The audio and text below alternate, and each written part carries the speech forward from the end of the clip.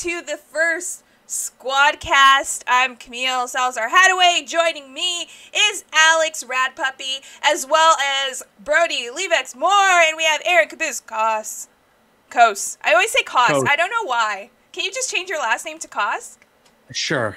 Sure. I'll make it. Just for her. All right, so this is the first um, Squadcast where obviously we're a part of the Squad family. So we're now having podcasts, which is just seems pretty weird because I feel like we all have these discussions, or like some of us when we get together, we like have very long discussions about what's going on in the gaming industry in our worlds. Um, but why don't we actually introduce ourselves a little bit about what we do? Just because you know this is the first episode, I feel like people should know who we are. Just Yeah. already know, right? No, I was just kidding. Well, well, let me let me do the Yeah, introduction. Come on, Chad, do your research. do your research. No, you know what? I'm gonna do an introduction for Brody, okay? Because Brody just did this. So, um, Brody is a host on Squad or the television show The end. No. alongside me. But fun fact that you didn't know: Brody does not wash his hands when he's done in the washroom. There we go. We have What? it. No, I didn't. We have it. What? No, no, Oh I said it. Whoa, whoa, whoa, No. I'm putting it out there. huh? I'm putting it out That's there. not even close to true. That's you not even just, close to true. you just. I wash my hands every single time I go to the washroom. I didn't just go to the washroom.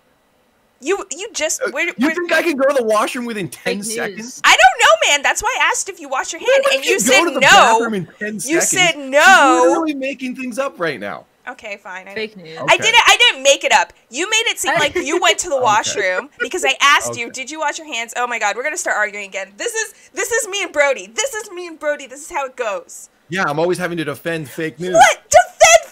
Defend fake news? Oh my God. Someone else talk. Someone else talk. I can't deal. I I- can't deal. What has this become? We're not even 10 minutes in. No, this is Um, what it is. Mom, Dad, stop fighting. Mom, Dad, uh, chat's all up in Oh here. Oh my god. So uh, we That's have crazy. quite a few people in chat. Um, during a pandemic, Brody, I know, shame on him, right? Unreal. Uh, it's fake news. Unreal. You just You gotta sing happy birthday while you. Yo, while cancel your culture is toxic, Camille. Why are you a part of it? No, okay, fine. Brody washes his hands, just not when he's picking his nose. So uh, let's move on to what we're going to actually be discussing today. So um, today we have a, a couple of topics. So wh- who wants to start? Who wants to start with the first one? Should we get into the first one? Sure. What, what what what do we want our first one to be? We have Well- a lot to talk about here. Caboose, We- let's start with you, man. No? Okay. You want to start with me? Yeah, let's start with you because I feel like Brody Okay. may take up a lot of time complaining about this topic. So since he's already pissed off, let's just do it.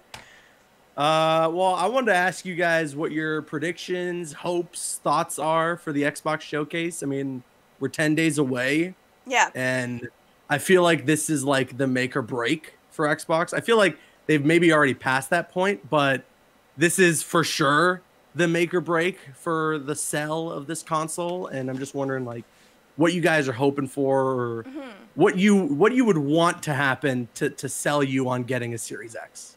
Yeah. Uh, I'm gonna go. I'm gonna go last on this. Oh, It's like, he, I feel like he has a lot to say, but this is gotta- all. yeah. Caboose, you're bringing this up because the Xbox Showcase is happening on July 23rd, I believe. Um, that's the date. So you know we have a whole bunch of anticipation of what we want to see, but what do you think we will see? Um, Alex, I feel like you were about to step in there. Do you have something to say about like what you expect? Yeah, yeah. I was gonna say I haven't had an Xbox since like high school. And Yeah. I, I think all I did was play like Left 4 Dead on it. Oh. Um, so I really have That's no hopes game. for the Xbox. I'm most likely not gonna get one. No. Okay, side What note if- before we get too sidetracked, have you heard about the new Left 4 Dead type game that's coming out from the guys who made Left 4 Dead? no, is it for the Xbox? Yeah. I d- no, it's not exclusive. No. as far as I know. Did they Um, say? but it's- Imagine it's called- if it is though. Would you get an Xbox if they bring that game and It's pretty much like Left 4 Dead. Like it looks like Left 4 Dead. That'll that might connect to a future topic. That question you just asked, Camille. It could. Um, Mhm. probably not. No. No. Still wouldn't be enough. Okay. Okay. Ca- Camille, before we we shut, i- i- if you have anything, get it out of the way now. If there's anything you're looking for, before God. before Alex and I shut you down on why you should. oh my gosh. Okay, so Wow. out, I, I think it's important for chat to know that out of the four of us, Caboose and I are probably the console gamers um, of uh, the group here. Although Brody, I know Yeah. you do play PlayStation, but you're a PC guy, right? So um, Mhm. for me, I feel like I, I own both a PlayStation 4 and an Xbox One X. So I do love both can- consoles. However, I feel like Xbox really needs to showcase something really big. So yes, we need to see Halo. We need to see a lot of Halo. Um, I think we need to really get good gameplay out of Halo Infinite in order to get people hyped because that's the thing. Xbox, they have good games. They've been buying up so many different studios that there is really a lot there. I want to see more of the Cuphead show. What are we going to see there? Um, that's unrelated to the actual console, but I want to see what they're doing with all their different IPs, what they're doing with all their different studios. And I am just hoping, hoping that you know they bring something forward that's going to get a lot of people excited because uh, it's it's really hard when PlayStation kind of showed up, you know. Yeah, I, I mean, listen, I, I I have an Xbox One X. I'm looking at it right now. Yeah. Uh, it's the console I primarily play on for cross-gen games, um, unless it's like Warzone or something, which I Yeah. play on PC. Um, I, I admit though, although I play a lot of Xbox, that PlayStation they've won the console generation, and like let's just be honest, Eh, right now there's not too much incentive to get Yeah. an Xbox Series X. Halo, we haven't seen any gameplay, but like it's Halo, so I guess that could be pretty cool. Um, that's about it. So uh, I don't really know why else I'd really get an Xbox at this point. Look at, I mean, PlayStation's showcase was spot on. Granted, a lot of the games they showed were very, it was very deceptive because a lot of the things that they showed were cross-platform. Some even not just for PlayStation 5 or next gen, some coming out on the current gen consoles. But they had a really good showcase. They showed some really cool games. Yeah. Uh, so Xbox has to like blow the roof off the place. Yeah. And I feel like they have one ace up their sleeves potentially. It's a future topic that we'll talk about later. Um, but I don't think they'll have that ready for the Xbox showcase. And I just, I don't know what else they could do. Like, I want to see Halo gameplay. That'll be exciting. yes. But for me, like, I'm probably getting an Xbox no matter what as a content creator. That's like, that stuff that it's just what I got to do, right?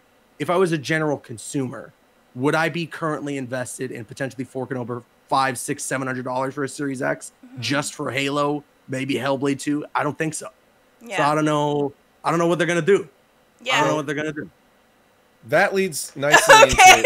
into Yeah. He's waiting. Here we go. Oh, now, now, now you can put it a lot less politely than I did. In, in all honesty, it's it's not even like it, that intense. So when it comes to when you're talking about the Halo, like are people going to buy an Xbox Halo? I am one of those people. I literally only bought an Xbox every generation specifically to play Halo mo- uh, story. I didn't even buy live. I never played multiplayer. I just play Halo story. But Yeah. that's all on the PC now. There is no reason for That's almost true. anyone to get an Xbox. And I think I think Microsoft knows that. I think Microsoft doesn't care about their console this this next generation. They're putting out basically just uh, a high powered PC. That's all. That's what they're doing. They're throwing out there. Then they're going to work on XCloud. They have their Game Pass on PC as well. They're pushing to have everything on PC now. They realize they're even their games are going to Steam now. Like Yeah. they they don't care. They're taking the approach of we don't care where you buy the game. We just want you to play our games.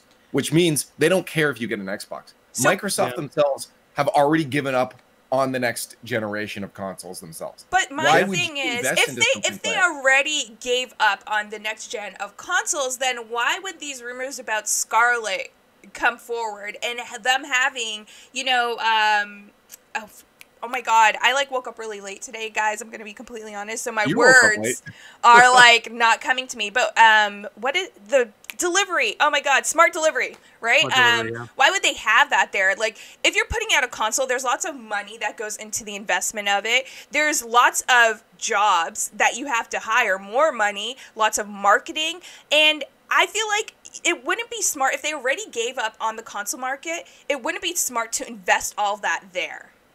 Well, it doesn't. But- I mean, like, I didn't. uh, Clearly, they're not investing that much. I didn't even know there was a spotlight or a showcase coming up. Like, they're clearly not investing that much into marketing.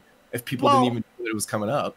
they they marketed it. They- they you're just not there. on the Not- channel. not You're you're Not just not much the they person they are marketing it that to. people aren't. I just. I think people just aren't as invested in the Xbox brand to to look out for stuff like that. You know what I mean?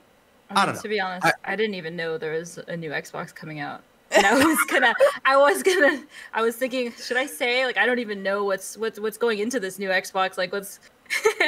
Yeah, Like, Can you guys like give me a rundown on what they're It's- promising or it's technically technically the most powerful console. Like it's from I believe of from all the stats- consoles? That's yes, what they're well, selling it from what I as, yeah. understand, based on the stats, it's more powerful than the PS5.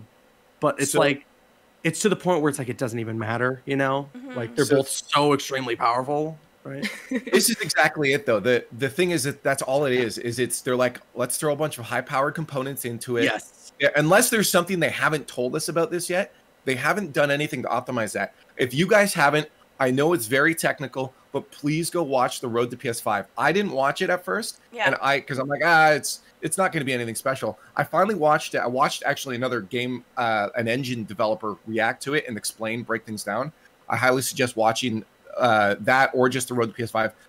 They have put they are they are actually going to change what PC gaming is with the PS5.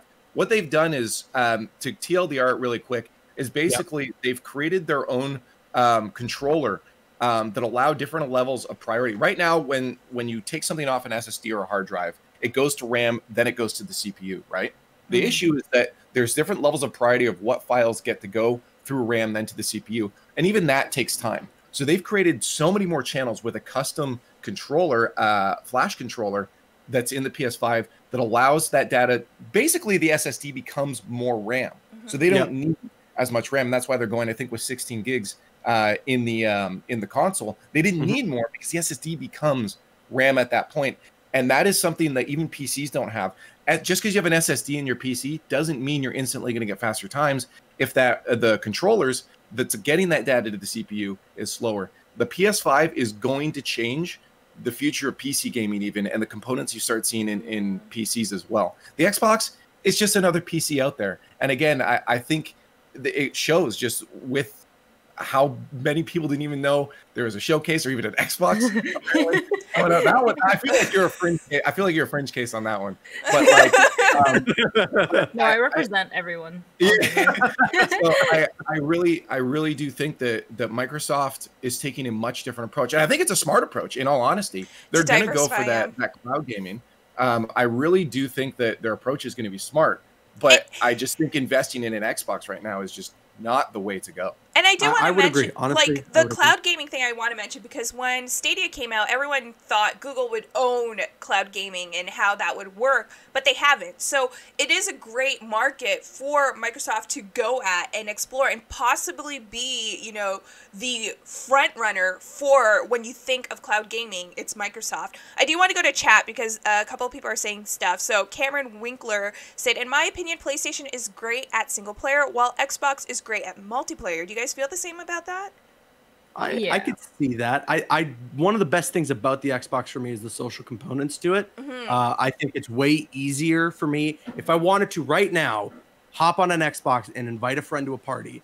I feel like it is way easier for me to navigate that entire process than it is on the PlayStation. Yeah. Um, but I mean, obviously, like if you if you learn how to do it on the PlayStation, it shouldn't be too difficult. You know, it's not like we're all cavemen. Yeah. Like, we, we can figure that stuff out.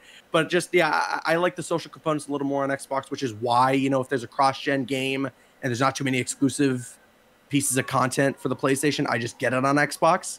Um, and I mean, there's just no doubt that PlayStation's leading the the market right now in exclusives and single player games. God of War, Spider Man, Horizon Zero Dawn, like their library is insane. I do have to say, like, you brought up a really good point. I think Xbox does really have, like, their social aspects, their whole community aspect of Xbox, like, under that brand. I think they do way better than PlayStation. Like, even to share a freaking clip on my PlayStation, like, if I'm playing Warzone, it is such a headache. Like, I really hope just next gen in general makes show like showing your gameplay on social media much easier um, just because Yeah. when you know you're playing in the comfort of your bed you may not be hooked up to a stream setup to capture everything so that's one of my Mhm. pet peeves that i really hope uh, next gen brings with it um, simon rl says Switch gonna break through with Breath of the Wild 2. Um, I just wanted to say that because everyone knows that I'm a huge Zelda fan, so that is true. Uh, Brody, I see you smiling there. Yeah, don't get don't get Camille and I started on that one. Um, but I think I think what I, what what to to basically summarize how Sony's approaching this and and how Microsoft's approaching it um, is that Sony's approaching it almost more in a Nintendo way, whereas Nintendo looks at every console as a way to innovate and a way to change something or come up with something new. There's always Yep. something special about a Nintendo console. And I think Sony sat down and said, I mean, you look at the PlayStation 3 even, that had the cell processor that was used in so many different servers. It was an incredible it, it um, basically started folding at home, which is um, uh, that program that allows um, proteins uh, to be folded across everyone. It's like basically uses everyone's computer to um, do science and stuff. So like you know, the PS3 was that. The, the PS4 was pretty much just a, a high-powered PC. They didn't really do anything, and even they themselves admitted that that wasn't something that they can really hold in high regard when it comes to creativity. So they took a step back and went to the drawing board and said, "What can we actually do to try to change the industry?" And it's the Mhm. same thing as I said, Nintendo does. They they looked at this console to to go back to what consoles used to do Yeah. bring cool tech into the average consumer's hand. And I, I really think that Sony took that step of creativity. They did it with the internals, and that's why it's not as flashy. You you can't really market that as well. It's really hard to explain that to the to average person, but they did that, and I, I think that that step alone puts them uh, 400 steps ahead of of where the Xbox is going to be. Um, Mhm. Just because they they took the spirit of what a console should be and and built off of that. Um, Dope Spill Gaming or Dope Spill Gaming says, "I wish Microsoft wasn't uh, too concerned with 4K gaming," and I think that kind of goes along with what you uh, said, Brody. I can't believe I'm agreeing with you, but like how PlayStation is taking that Nintendo approach, and they're not just thinking about graphics; they're thinking about what hardware they're putting out there and what games they could create to support that. And I think that is something that Microsoft needs. They need those first you know party titles that will have that exclusive brand on it to make people want to get uh, Xbox right when it comes out. And like just to point like behind the scenes, we had a conversation here because there's rumors that PlayStation is putting out news about the price of their console very soon in like nine minutes. in nine minutes. And I have to say, Apparently. a couple of us have that like PlayStation's Twitter up right now because we want to know the news, and uh, Caboose wants to order it. So I think that tells you a lot. Like a lot of people are waiting for that news to break, and they didn't even hear about the showcase. So like it's very unfortunate, um, but I guess that's what it is, right? Maybe people don't care about the showcase right now. I mean, Yeah, maybe they themselves don't care. honestly, it's the, the problem too is that like we know games look good on these consoles. They've looked good this console generation. You know, I don't need to hear game will look good on Xbox Series X. That's just that's not the sell.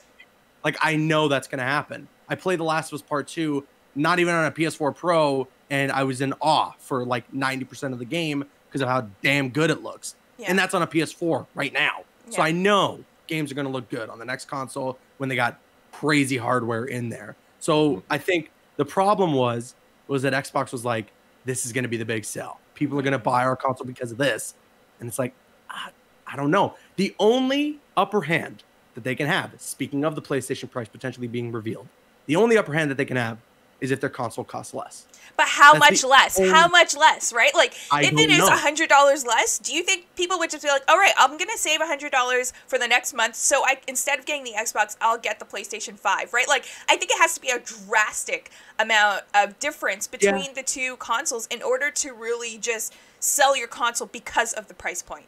But but at the same time, you also got to think um, a lot's been happening this year. this, Yeah. this has been a crazy first seven months to the year that I'm sure nobody expected.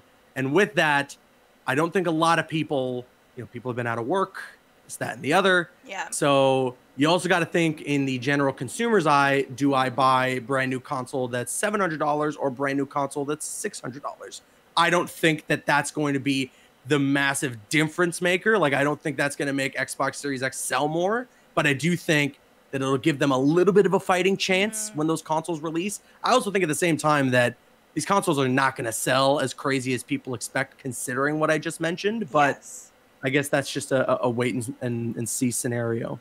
So Stealth Gamer uh, 26 says, "What are some things that you guys would like to see Xbox do to get the Xbox Series X the to give sorry Xbox Series X the upper hand to the PlayStation 5. It's it's funny you mentioned that because our next topic kind of goes into that. Um,